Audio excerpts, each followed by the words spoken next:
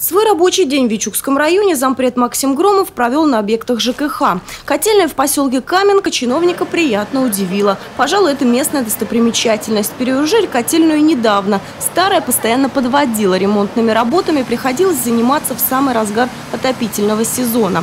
Техническое перевооружение обошлось в 26 миллионов рублей. 20 из них заемные, 6,5 миллионов средства бюджета. Теперь проблем с отоплением 84 домов и объектов соцсферы в Каменке не возникает.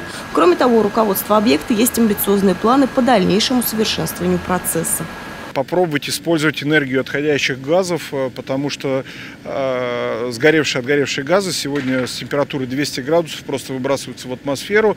И мне директор рассказал подробно, как он э, предполагает, планирует и будет заниматься тем, чтобы температуру этих газов использовать на предварительный подогрев воды, что существенно еще больше снизит затраты на потребление газа.